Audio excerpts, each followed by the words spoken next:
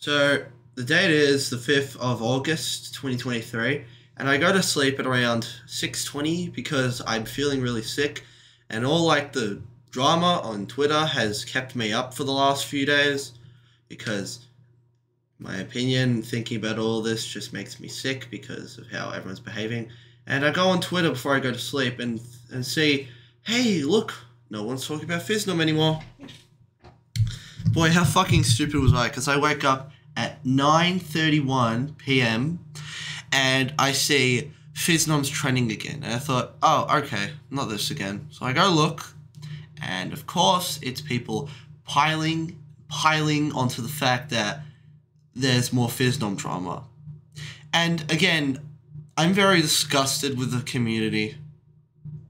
I'm gonna be serious.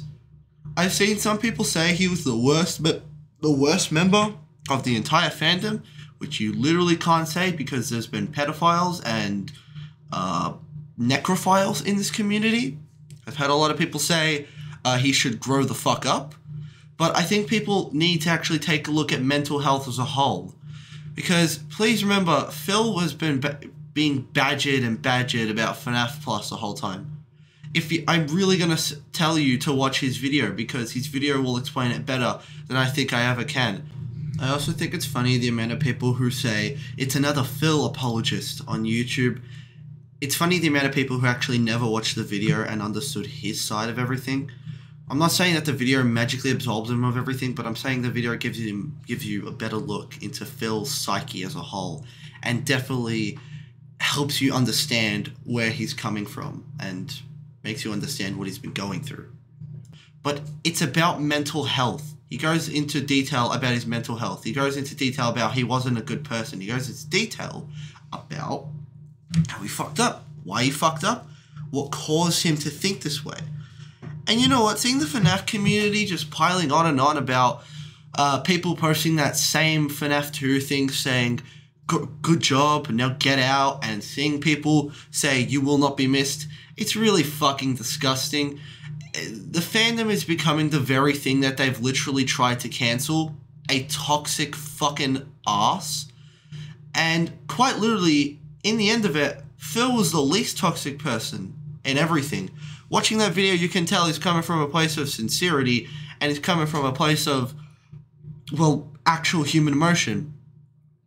Fandom, where are they coming from? They're coming from the witch hunting uh, off, uh, offices where they will try and cancel Phil for anything. And it's funny because they've already cancelled Phil. You've already cancelled Phil. He's stepped down because, in my opinion, it really sounded like Phil himself wanted to step down from all the drama and he wasn't actually fired by Scott.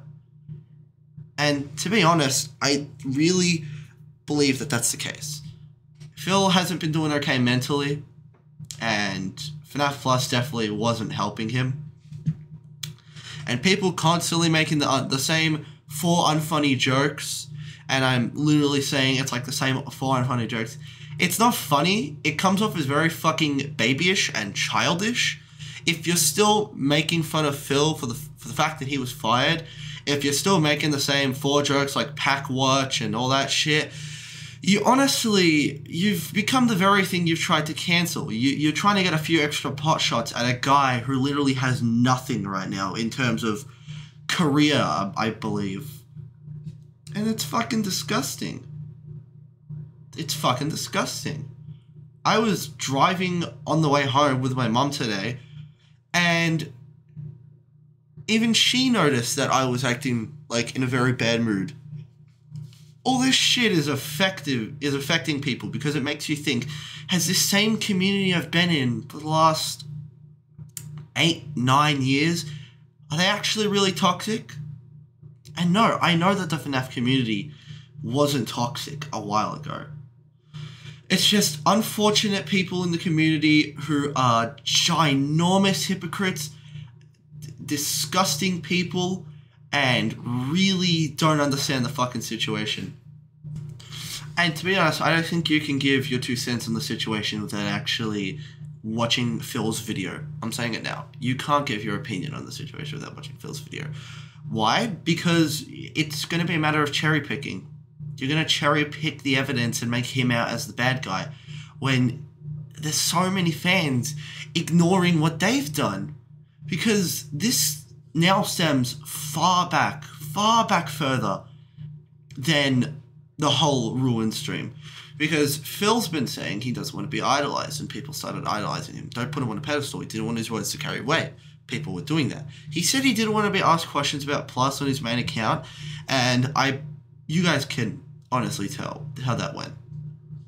People kept asking, him, kept hounding him, kept harassing him, and it affects you. It really affects you. So, after all this, I really think Twitter should take this as a sign or like a story of what declining mental health can do. Or don't, you can just keep making the same uh, unfunny FNAF 2 jokes because, Lord Almighty, Twitter has not learned a fucking thing through all of this. Alright, uh, thanks for watching. It's 9.49 p.m. And uh, final closing statement is that Twitter is a bunch of fucking disgusting hypocrites who really don't understand both sides of the situation. So yeah.